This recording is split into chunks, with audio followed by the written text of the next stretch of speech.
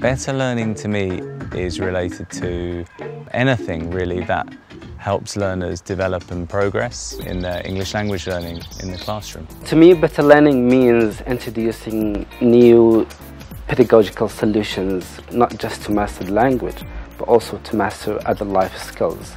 It really means a better understanding of what the complex process is that we go through when we learn anything and the improvement of learning for our students. So better learning for me means uh, collaboration with uh, different teachers, educators from across the world, so learning from the teachers, but also learning, uh, you know, from the other peers. Better learning uh, for me uh, is continuous professional development, technology, integration, entrepreneurship, and a trustable, accountable values that, that's going to build a better future. For me, better learning means uh, trying to improve the impossible. Uh, lesson plans, teaching performance, student skills. That's what better learning means for me.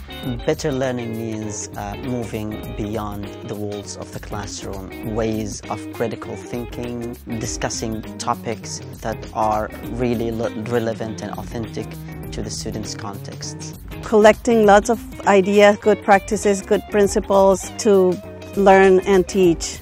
Learning to learn, understanding people, how they learn, and how to make it permanent. Better learning means to me the opportunity of knowing how other people from different countries tackle the same problems that I'm facing.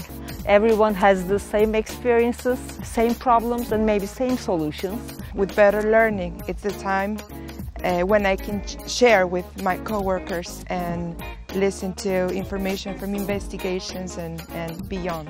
Being able to, to experience what I'm learning and to use it in real life context. Better learning is an opportunity to become best, the best teacher ever, uh, in order for your students to get the best out of you.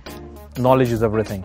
So if you can uh, empower students, the coming generation with the better knowledge, you can make better society. So, you know, I want to make better society contributing while becoming a teacher.